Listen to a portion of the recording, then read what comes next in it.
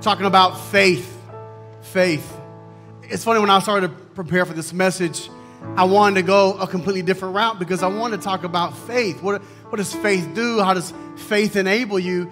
And I just kept being drawn back to so much of the, the imagery of the shield and really how we use our faith and how we take care of our faith and how our faith aids us just in the day to day. And so um, I'm looking forward to sharing this, uh, sharing with this, sharing this with you today. Um, let's pray and then we'll dive in. Father in heaven, our faith is found in the Word. And so, Lord, I, I pray for every one of us, God, who has not been topped off in our faith today, or, or we're just lacking, or, or, or maybe we need to figure out how to care for it better. I pray, let your Word, God, just, just sound, God, an echo over and over and over again, God, to remind us of how significant and how important your Word is. I pray that your Word would bring us faith, as your Word says. And I pray we walk out of here, Father, a people of faith. In Jesus' name we pray. Amen. In all circumstances, is how Paul starts this off. In all circumstances, if you got the KJV, it says above all, but let me just bring some clarification to that. Paul's talking about the shield of faith, and he's not saying this is more important than anything else.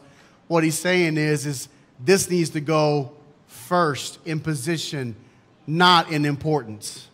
Your faith is what leads the way. When you take a step forward, it's because you trust and have faith, even though the circumstances are not what you want them to be, still yet you put that shield and you press forward, hoping that everything you believe is exactly um, what you know it to be. In all circumstances, take up the shield of faith with which you can extinguish all the flaming darts of the evil one. Just as the breastplate depended on the word of God, so does the shield find its foundation on the belt of truth. You, you have no faith apart from the word. Faith is a result of the impartation of God's word into the human heart.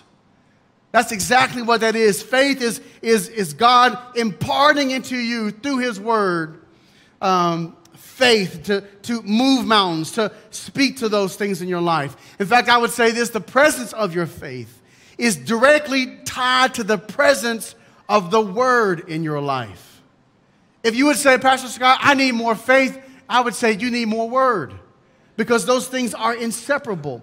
To say it a bit differently, let me say it like this the presence or absence of faith is determined by the presence or absence of God's word. For faith and the word of God are inseparable. Let me say it again. The presence or absence of faith is determined by the presence or absence of God's word. For faith and the word of God are inseparable. How do we know that? What does scripture tell us? Romans 10 17, very clear. You guys already had it in your mind. You're like, I know he's going to say it. I know he's going to say it. So it says this So faith comes from hearing and hearing through the word of Christ. 2 Corinthians 4:13 says this, since we have the same spirit of faith according to what has been written. And in Romans 4 Paul talks about this concerning Abraham. Abraham had faith because God gave him a word to trust in. 1 Corinthians 15, Paul says that our preaching is empty and your faith is in vain if Jesus didn't raise up from the dead, which all of Scripture hinges upon the resurrection. The Word not only um, gives us faith, but if we don't have the Word, um, then we're, we're susceptible to many different things. And so here's what the Word keeps us from believing. Ephesians 4, 14 says this it says, um, uh, tossed to, keep from being tossed to or fro by the waves and carried about by every wind of doctrine, human cunning, by craftiness and deceitful schemes. So we see the Word of God absolutely keeps you from every wind of doctrine. And I don't know if you know it or not, but there's a lot of winds out there. And trust me, they just wins. it just wins. By human cunning, and there is a lot of that, and craftiness and deceitful schemes. All those are by design. But just as the faith rests upon the word of God, so does the shield of faith rest upon the belt of truth. So just know as we deal with faith, as you grow your faith, you will grow your faith in proportion of you getting into the Word.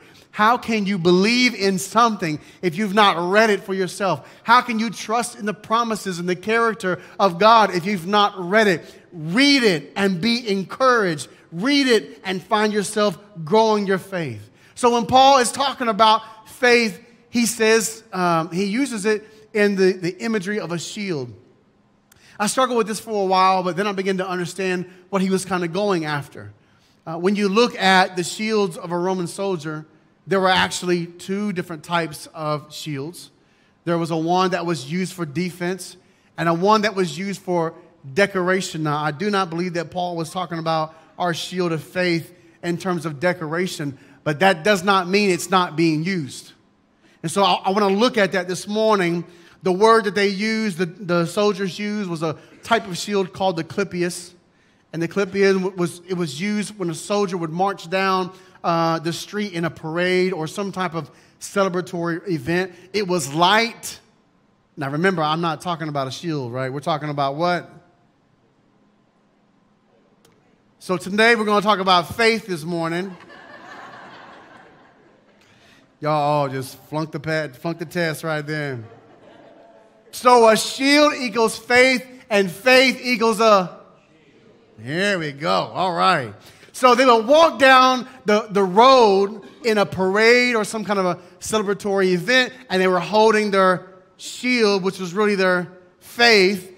And this, this Clipeus shield was a shield that was light, small, an ornate shield, a very decorative shield, and it served to tell past victories. It told about what the man did. It was a comfortable shield, easy to manage. Are you following me this morning? It was a comfortable shield, easy to manage. Its purpose was to highlight what man had done and to emphasize man's involvement and part in the victory. And it did so by celebrating the past victories uh, through the use of decoration. It was also used to depict the greatness of those who never entered the battle. Imposters, such as magistrates and high ranking officials, as a way to celebrate their victories while they were in office. And so, here, what you see is simply this people who had these shields that make them look like they're part of something that really mattered. They were part of the victory or part of the battle, but those shields weren't real victories for them. They were just borrowing it for what? For influence, for appeal. I'm still talking about faith this morning. For anything else that they could do to benefit them, they used those shields so that way you looked at them in a higher measure, not because they had bought in to what the shield actually did. You see, this is not the shield Paul is talking about, but that does not mean that some people are not using this shield. It doesn't take much effort to look at, I'm sorry, look around our country and see that there are soldiers who are carrying the Clipeus shield, a faith that is easy to manage, that emphasizes the man, that's light and celebrates man's involvement, and selling it instead of facing and, and putting our eyes upon Christ who gives us our faith. And so, just like in Rome, what we see is this is that temptation to use the faith as something ceremonial or symbolic. I don't know about you, but I've grown up in plenty of church life to know that I have seen plenty of Clipeus shields. People whose faith do not stand the test. People whose faith make them look good, but Jesus is lost in the middle of it all. People whose faith, that only, the only reason why they carry that is that they want you to think that they are part of the battle too, that they belong to something greater too, that they look good, that they feel good, that they're associated to something that you're associated to, but they've not suffered. They've not went through trials and tests. They've not tested that shield. But somehow they have found faith. One of my friends called me one day. He said, he said, Scott, you'd be so glad I, I found faith. And I said, You found who? I found faith. I said, bro, I didn't know she was, I didn't know she was available. What you talking about? What's, what's, what's faith been up to? He says, no, man, I, I found faith. Like, I, I found belief. I said, that's good, brother, but unless you found Jesus, it don't matter. It don't matter. I don't care what you believe in. I don't care what faith you have, unless your faith is in Christ Jesus, not some, not, not some law, not some ceremony, not some tradition, not some church name, not some heritage, not some pedigree, not none of that stuff. Unless your faith is in Christ alone, you have the wrong faith. And so this morning, Paul is talking about this shield, and he says, These people grab this shield, and this shield is a small shield. It opens us up to the flesh, reveals the flesh. And Paul speaks to that in Romans. He says, he says Those who are in the flesh cannot please God. Hebrews 11 6, 11 6 says this Without faith, it is impossible to please Him, for whoever would draw near to God must believe that He exists and that He rewards those who seek Him. So, a true faith is not about how great we look, how spiritual we are, how many battles we've won, or any other spiritual resume. Our faith should point to the one who is the author and the finisher of our faith. So, then what's this shield that Paul is talking about? What's he talking about here? He says that this is a defensive shield. Go ahead and show that, that the big red, there it is. That's the big defensive shield. Now, it's a, I couldn't find anything that was actually real. They, they had one uh, that was too small, couldn't blow that up big enough. But this shield is very large. And in fact, it's built like a door. The Greek word for this shield, theros, is actually means door. Um, if we look at the shield of faith and another part of scripture, this is how it reads. Look at Acts 14 27. And when they arrived and gathered the church together, they declared all that God had done with them and how he had opened a shield of faith to the Gentiles. Now, funny enough, we translated a door of faith, but in the Greek, it's the exact same phrase as a shield of faith. So, what we see is that our faith is like a door, it's big enough to cover you. That's the emphasis. It's the door of faith that we walk through.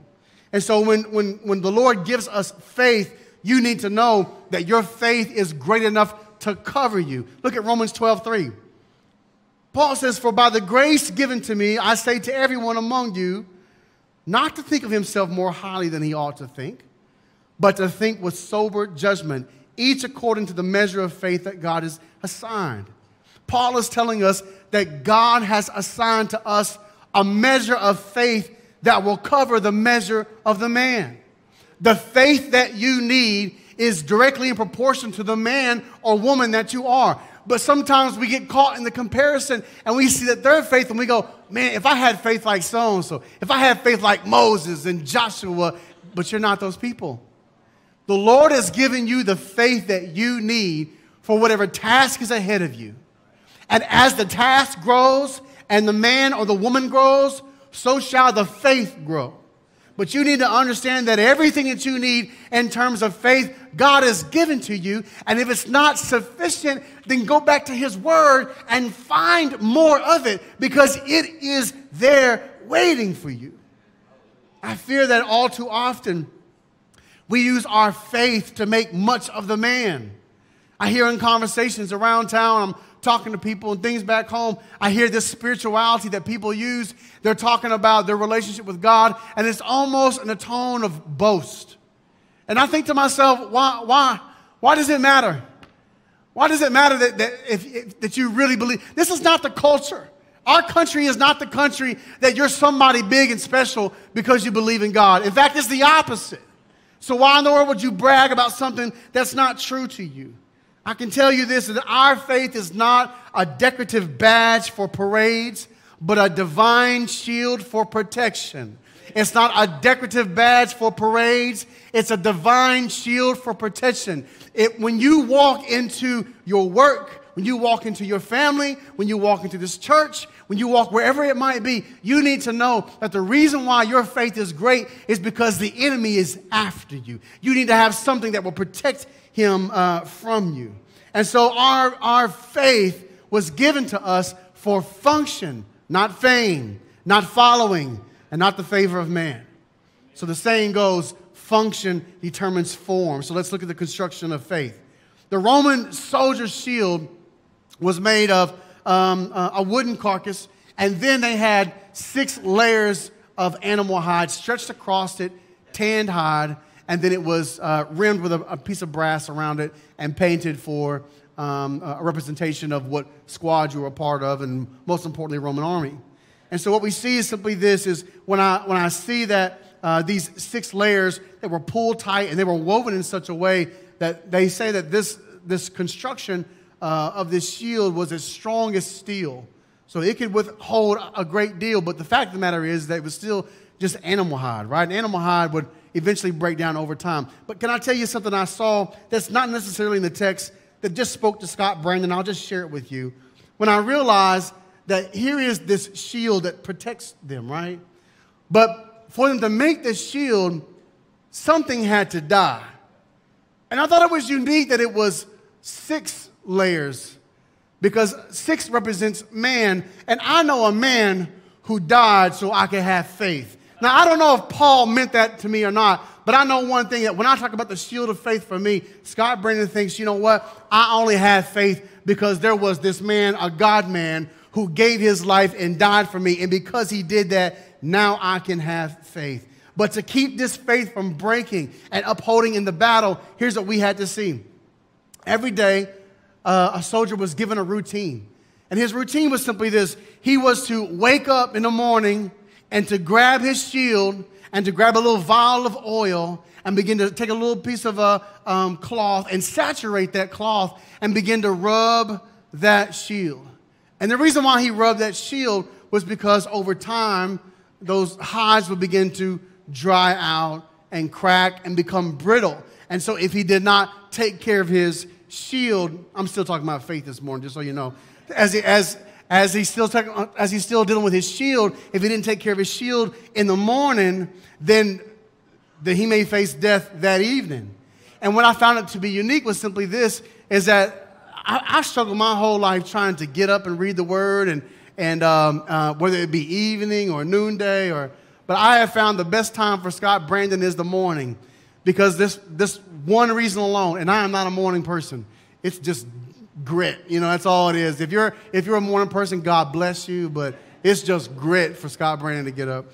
Um, but what I notice is this, and maybe for you too, that when I don't spend time in my word or with the Lord in the morning, it seemed like hell got an email. You know what I mean? And, and they're like, okay, Scott, didn't spend time, so guess what? We're full bore today, guys. And I constantly beat myself up because I always, I'll, I'll, tell myself, well, I didn't really get time like I wanted to. I'll just spend it later this evening.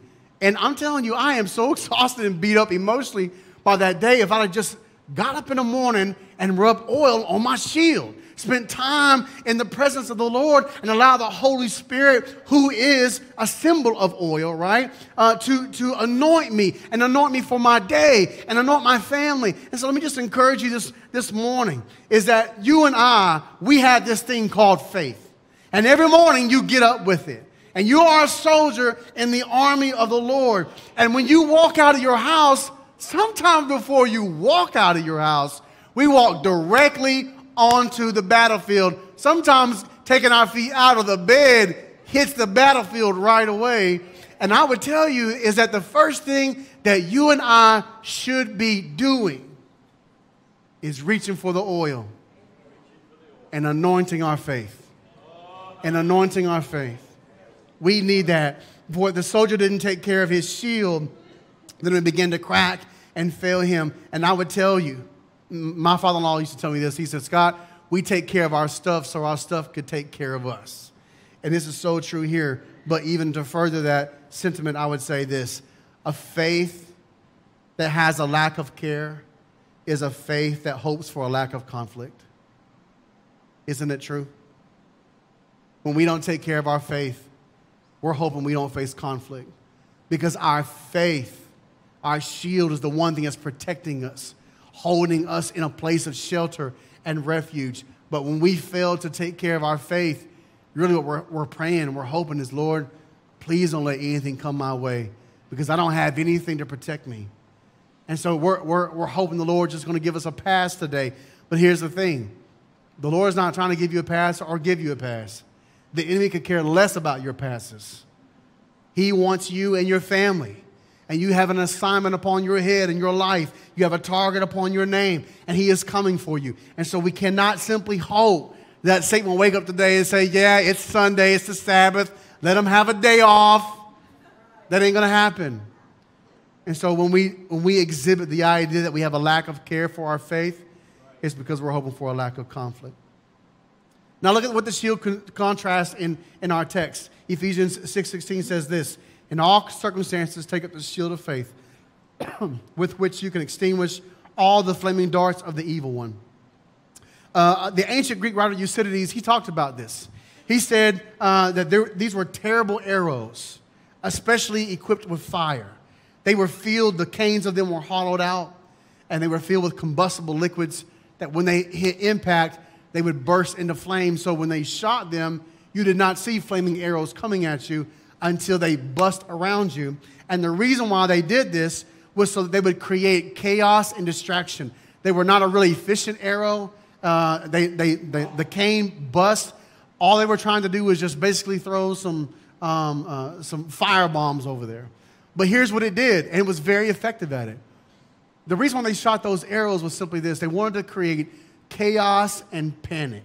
See, Roman army, they, they had a really good uh, way to fortify themselves and to create solid encampments with their shields and their, their discipline. And so the enemy would come and try to figure out a way for them to break rank or to break structure. And the best way to do that was to expose their weaknesses from within because they knew from without they were too, they were, they were too tough. They couldn't, they couldn't penetrate their discipline and their equipment. So they would create these fires or these explosions that would cause them to panic or set other things on fire that would cause them to be distracted. And so here's what we see is this is that Paul is talking about this same type of arrow. There are three different types of arrows that the Roman army was up against, and this was the third one. It was a special one. It wasn't used very much at all. But Paul's alluding to it, flaming darts, saying this is that the enemy uses things against us to create chaos and fear and panic and to use the things that are within you, that are under your feet, that are around you to create fear. So you'll respond in your weaknesses because you know the enemy has no right to anything else in your life. The one thing he's always after is your emotions. If the enemy can get your emotions, you know he's got you, right? All the men in the house who ever stumped their toe and had anger come to their fist, you know what I'm talking about. Let me give you an example.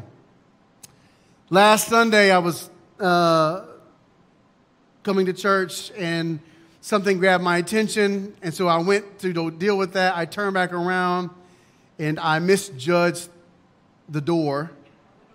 I had my hands out in faith, uh, but I had no shield. And I just field goal the door right there. Boom, right? So I'm, and I'm in a hurry to get out to the door. And I just smoked myself right there on on my eyebrow. And if you see me today, I got this big old bruise. No, it's not me and Julie. Uh, but, um, but when, you know, when I hit that, I'm, when, it, when it hit me, you know, when I hit it or it hit me, don't you know how I felt right in that moment? Flaming darts. You know what I mean? Flaming darts. I'm telling you, it's early. I can't see. I'm trying to get to church and I'm about to go pray. I'm going to leave home and come here and pray. And what happens? Boom. I'm, I'm walking around here all Sunday morning, last Sunday, and I cannot focus because I just feel this boom, boom, boom. And here's what the, here's what he wants to do. He wants to get into your emotions. He knows how to tap into you. He knows how to get you distracted. And so he sends these, these darts after us. In fact, this same word here that is used to declare what, who is sending these arrows is called poneritos. And it's the same word, it's, it's called evil one here in 616, but it's the same word that we see in Mark 721. Here's what I want you to see. The enemy is shooting flaming darts at us, but he's aiming for things inside of you to wake up because he knows he can't put evil in you. He knows it's already in you, and he's trying to bring it out. Pastor Scott, what you talking about? You, did you just say I was evil? Well, let me show you what the word says. Mark chapter 7, verse 21 says this For from what? Within, out of the heart of man come evil thoughts, sexual immorality, theft, murder, adultery, coveting, wickedness, deceit, sensuality, envy, slander, pride foolishness, all these things, all these evil things, poneros, come from within and they defile a person. Notice it comes from within. That's the reason why the enemy knows all I got to do is get a hold of your emotions and I can pull those things out of you. All of a sudden, you're breaking down, you're deconstructing because of the emotions that we've allowed our enemy to, to have access to. That's the reason why James tells us Blessed is the man who remains steadfast under trial. But each person is tempted when he is lured and enticed by his own desire. Everybody has a temptation. Everybody has a button. Amen. Everybody has a weakness. And the Lord is telling us today that your shield of faith is what keeps us from being susceptible to the attack of the, of the enemy because we know that at some point, at some time, he's going to launch his darts at us. And when he does, where are your emotions going to be? Where's your faith going to be at? And so we need to make sure that we are guarded because here's the, here's the real issue. Our problems in life are not the enemy. We are the problem. Right? The, the enemy can't do what he wants to do because Colossians 2:15 tells me that Christ has overcome him. He has brought him out in open shame, uh, triumphing over all of him and his weapons. So I know that there's no battle yet to be won. It's been won. But the enemy is trying to remind you that you don't have authority, that you don't have jurisdiction, and you don't rule over your emotions. And he's trying to bring you into the game of flesh and blood. But we've got to stand back and hold up our shield of faith that is derived from the Word of God that hangs on our belt and say, Not today. And so I don't know where you struggle with those things, but let me just remind you don't get angry at your neighbor for leaving the trash five feet on the other side. Don't get angry at your wife. Don't get angry at your kids. Don't get angry at your boss. When things are going bad, step back and say, Where am I in all, on all of this? Where are my emotions at in all of this? Because we can only, we can only act in the measure that we allow him to control us. And if, if we're not walking in faith, then he'll definitely expose us. How do we prevent those flaming darts from hitting our shield. When the battle was raging, soldiers would take their shield right before they went in and they would dip their shield down into the water. And they would hold their shield there until the, the animal hides become immersed and saturated with water. And then it would be wet. So that way, when this, this, this dart hit the shield, then the fire would be extinguished right away. When I read that, I realized ain't that something? So here we have this shield being immersed in the water. And as the shield is immersed in the water, there is a change of the shield's nature taking place. Because if the shield had never been in the water, it still would have, it still would have operated and functioned like normal tan hide would have. It had caught fire. But dipping it and immersing it in the water changed the nature of the shield.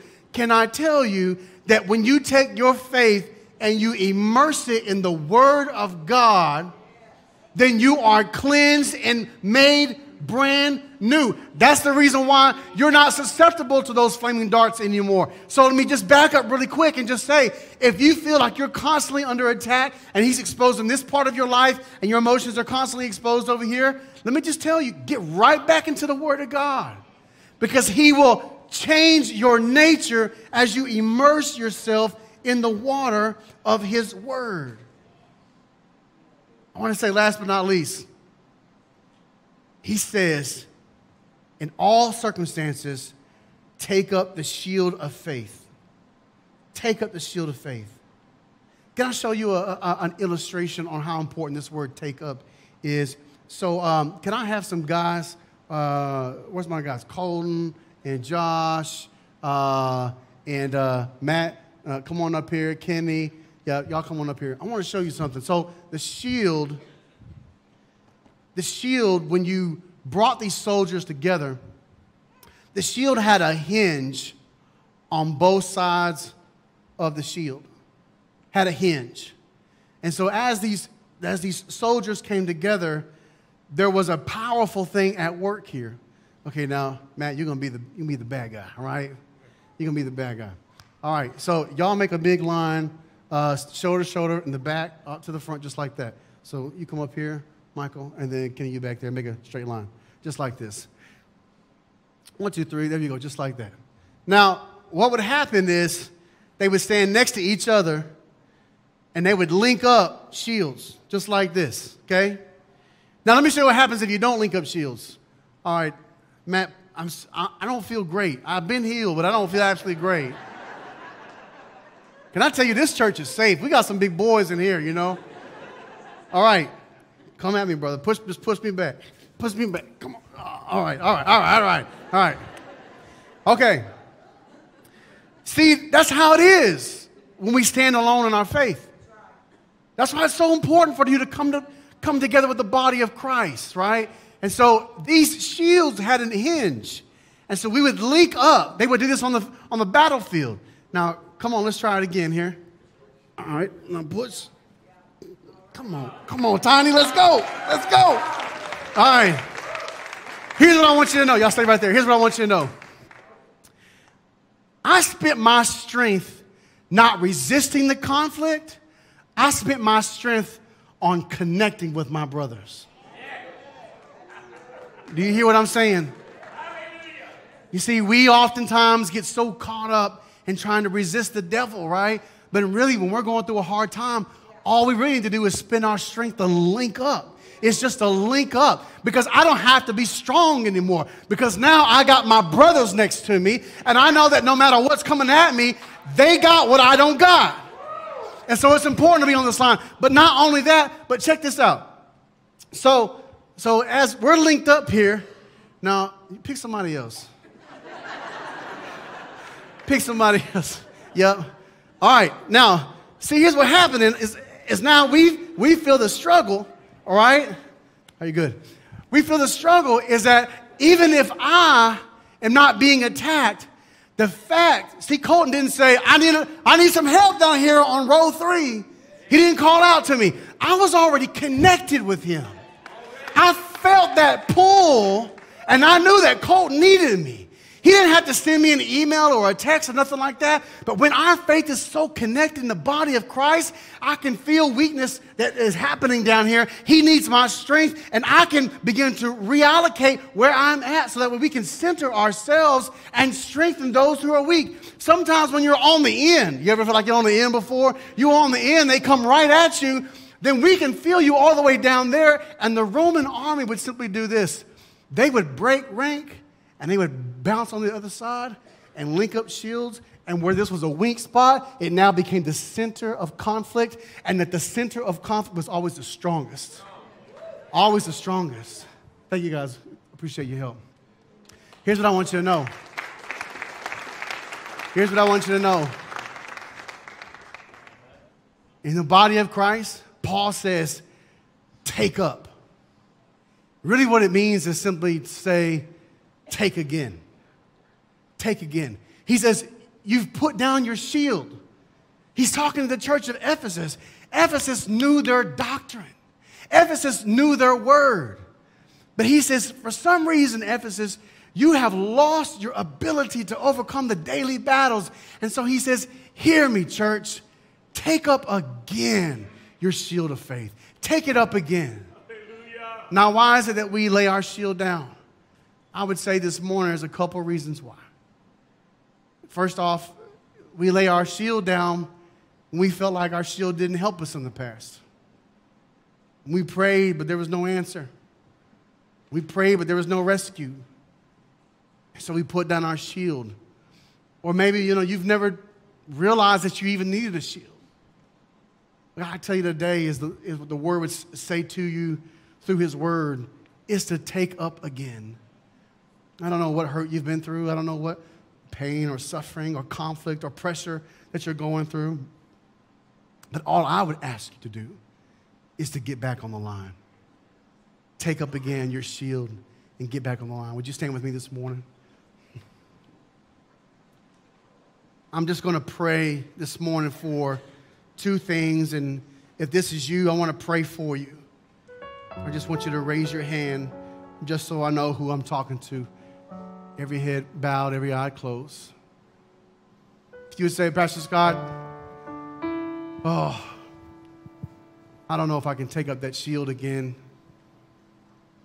I felt heavy. I felt alone. I don't know if that's what I want to do, but I feel the calling to it. I feel the calling to get back on the line. And I feel like today, I want to take back up my shield of faith. I want to take back caring for it again. I want to immerse it in the word of, of the water of the word today. Show me how to care for it. If that's you. If you want to get back on the line, raise your hand for me. Let me see. Amen. Yeah. See those hands. Thank you. If you would say, Pastor Scott, I've, I've never been on the line, never really had a shield of faith. But I think today I want to change that. If that's you, can I see your hand? Just let me know. Ready to embrace the shield of faith today. Amen. Thank you. Thank you. Father in heaven, I'm so thankful for the, the faith that you give us because of the word that you've given us, because of the Son that you've given us. And I pray, Father, that out of all that's been given to us, God, once again, give us the strength, Lord, to take up again the shield of faith. That we can walk, Father, in your army, declaring your authority, declaring, God, your ability, Father, over our life and over our family, over our world. God, give us strength, Lord, to take up that shield once again. Help us to get back on the line and to walk in power. Help us, Lord, to be sensitive to our brothers and our sisters, God, to the left and to the right, God, when they're under pressure, when they're under conflict. God, help us to focus our strength next to us and not on the conflict, God. I pray, unite our hearts, tie our hearts together, Lord, this morning. And God, for that person who's never been on the line, I pray, God, you'd breathe in them, God, a brand new life. Give them, God, a brand new shield and let them walk in the measure that you've blessed them with. We love you, Lord, this morning. We ask your, your anointing to be upon us. Help us to dive into the word. Help us to anoint our shield every morning. We ask it in Jesus' name. We pray. Amen. Is God good? Amen. When you get out of here, find another shield to link up to before you go. Let them know you love them. God bless you. I have a great weekend.